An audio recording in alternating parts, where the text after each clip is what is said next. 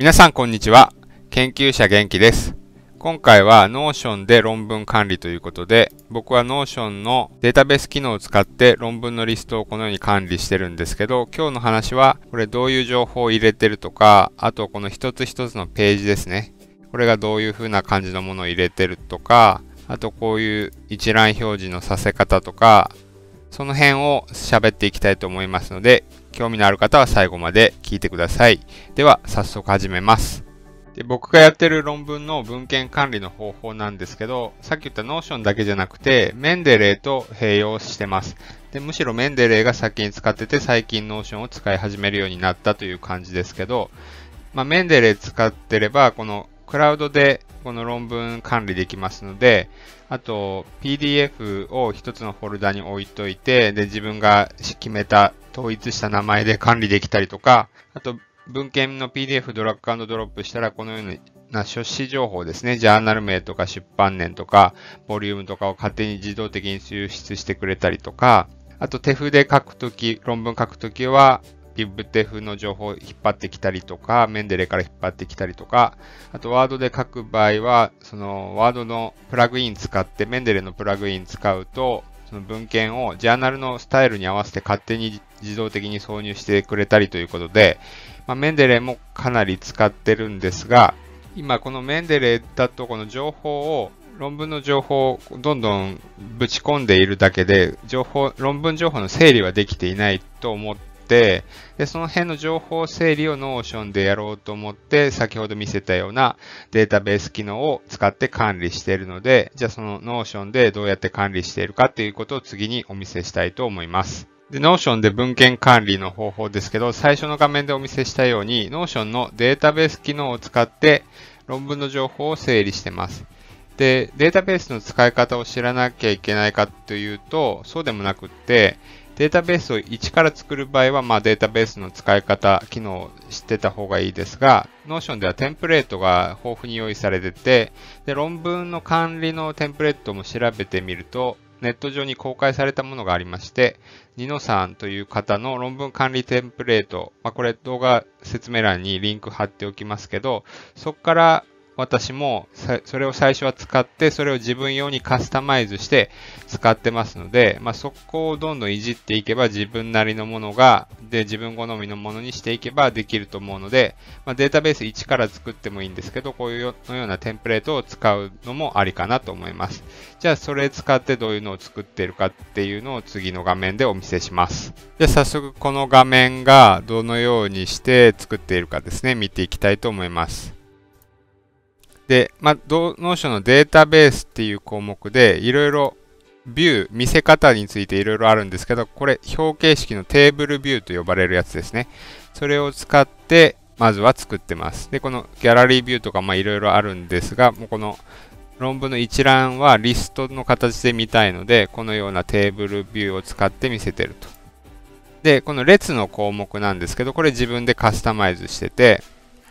まずこのところアブストラクトがこれチェックボックスになってますけど、論文のアブストラクトを読んだかどうかでチェック入れるようになってて、で、中身まで詳しく読んでると、このリードの項目にチェックを入れるようにしてます。で、あと、ここの、ここからの列ですけど、これは自分はどういうふうにしたかっていうと、論文で文献引用するときに必要な項目ですね。著者名、タイトル、ジャーナル名、ボリュームとページ番号と出版年ですね。著者名で具体的に言うとこのようなのを引用するとき参考文献リストのところに書くと思うんですけど著者名、タイトル、ジャーナル名、ボリューム、ページ番号、あるいは論文番号と出版年ですね。これがそれぞれ列に来るようにしてます。タイタイトルで、論文のタイトルと著者名で、ジャーナル名で、ボリュームで、ページ番号と出版年。でそれだけじゃなくって、あとキーワードとリンク情報ということで、その論文を表すキーワードを自分はつけることにしてて、キーワードをこの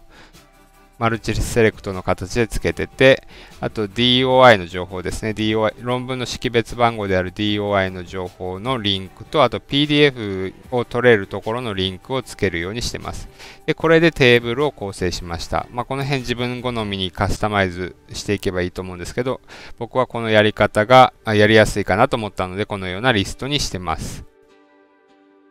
で、ジャーナル名についてなんですけど、セレクトで、キーワードはマルチセレクトにしてて、つまりジャーナルは1個選ぶようになってて、後でこの、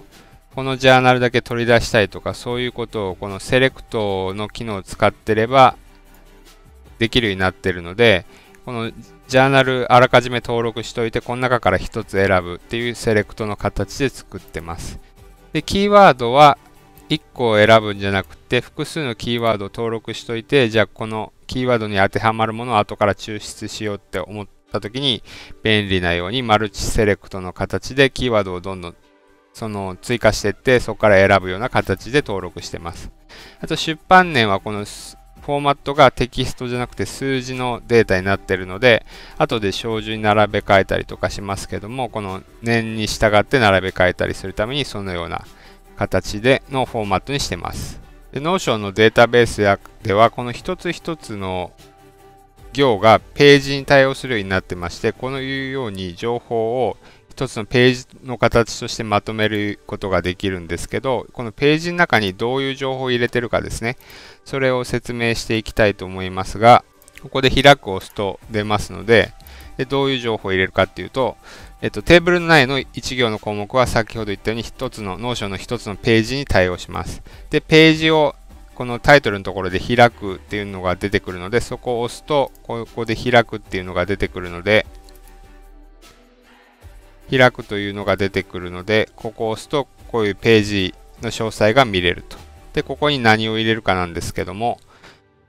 僕は1枚の画像と概要を書いてます。論文の概要を書いてて、で1枚の画像っていうのは、これ自分で選んだもので、その論文の内容を最もよく表す自分が選んだ図にしてます。これですね。論文で書いてある内容を最もよく表す1枚の選んだ、自分で選んだ図にしてて、まあこれを後から見るとこういう論文だなと思い出しやすいので、そういうのを書いてると。あと概要のところは、その論文のアブストラクトをそのまま訳したものをつけるんじゃなくて、自分なりにこの論文の内容をまとめたものを概要として書いてると。まあこういう短い感じで書いてたりとか、もう少し長い場合もありますけども、こんな感じで自分なりに論文の内容をまとめたものを簡単に書いてると。で、これいろこれ以外にもいろいろつけることできるんですけど、僕はこれぐらいがちょうどいいかなと思って、この絵と概要だけにしてます。で、データベースの機能を使っているので、この情報をまとめたら、後でいろいろ整理、抽出、必要な情報だけ取り出したりということができて、まあ、例えばですけども、今からデータベースの操作もちょっとやっていきますが、並べ替えで出版年の順に並べるということで、ここの先ほど言ったようにこの year っていう項目、出版年の項目は、数字のフォーマットでできているので、この古いものから新しいものを順に並べたりとか、逆に新しいものから上に並べたりとかすることができます。で、まあその並べ替えはここを使ってもできますけども、ま、ここを押してもできると。それで次なんですが、例えば、ビューという形で、Notion データベースはいろんなビューがあって、見せ方の問題ですけども、リストビューという形で、フィルター、リストビューのフィルター機能を使って、自分が欲しい情報だけ、このデータベースの中から抽出すると。で例えば、ジャーナルが PNS のものだけにしたりというのは、ここでもうすでにそういうのを作ってますけど、このリストの中からジャーナルが PNAS で出たものだけにしたりというのをこれやってるものですけど、実際どうやって作るかっていうと、ここに持ってきて、この中からリストのビューを選んで、で、このリストビューの中で、ビューを編集で、フィルター機能を使って、このジャーナルが、ジャーナルがの米国科学アカデミー企業の PNS だけですね。このものだけにしてやると、先ほどみたいにこのように、ジャーナルが PNS のものだけが取れると。あまあ、ネイチャーとかサイエンスのものだけ抽出したりとかいうこともできます。